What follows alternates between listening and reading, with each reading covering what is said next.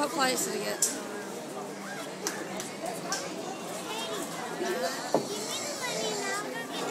Look at his card.